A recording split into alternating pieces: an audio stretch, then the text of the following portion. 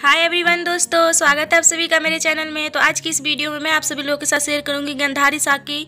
बहुत ही सिंपल तरीके से बना के तैयार करूँगी। लाल गंधारी साग की रेसिपी चौलाई की साग भी से बोला जाता है।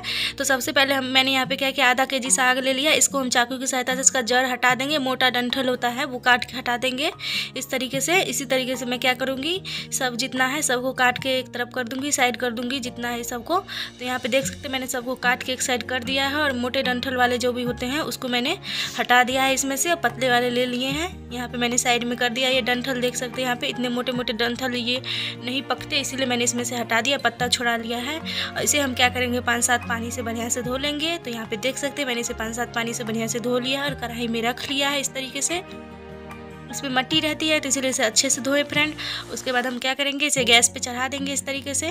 और गैस का फ्लेम ना ज़्यादा, मीडियम ना ज़्यादा लो करके इसे हम ढक करके पाँच मिनट तक पकने देंगे। तो यहाँ पर देख सकते हैं, मैंने इसे पाँच मिनट तक पकने दिया है। तो देख सकते हैं, इसका कलर जो है वो डिसकलर हो चुका है और ये इसमें पानी वानी नहीं डाले थे, ये खुद पानी छोड़ा है इस तरीके से।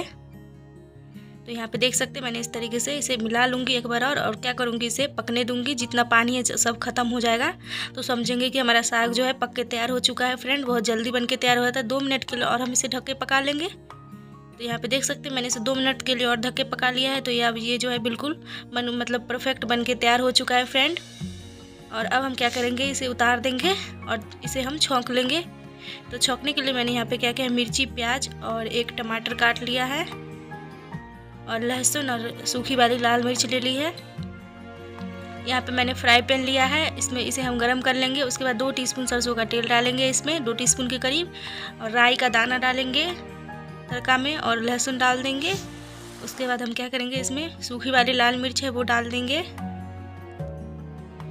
और इसे हम भून लेंगे। उसके बाद क्या करेंगे इसमें? एक मैंने मीडियम साइज़ का प्याज बारीक काट लिया था और उसके बाद हरी मिर्च कटा हुआ डाल देंगे और इस सबको बढ़िया से भून लेंगे हम।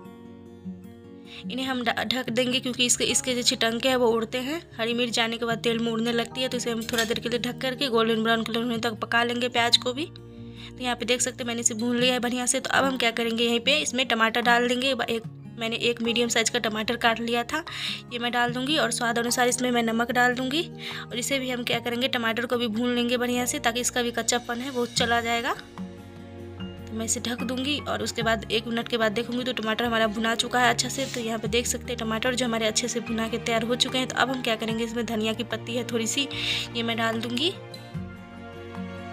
इसे भी हम मिक्स कर लेंगे बढ़िया से इसमें। और उसके बाद क्या करेंगे, मैंने वो साग जो बना के तैयार किया था ना, वो मैं इसमें डाल दूँगी फ्रेंड और इसे साग डालने के बाद हम क्या करेंगे, दो मिनट तक इसे हम भून लेंगे इसमें, ताकि इसका फ्लेवर इसमें चले आए, और बहुत ही टेस्टी लगती है फ्रेंड खाने में। रोटी से ज़्यादा अच्छा चावल में लगता है खाने में फ्रेंड आप लोग एक बार ज़रूर इस तरीके से बना के ट्राई करें। अगर वीडियो अच्छा लगा हो तो एक लाइक कीजिएगा, और मेरे चैनल को सब्सक्राइब ज़रूर कीजिएगा। थैंक यू फॉर वॉचिंग मिलते हैं नेक्स्ट वीडियो में, तब तक के लिए बाय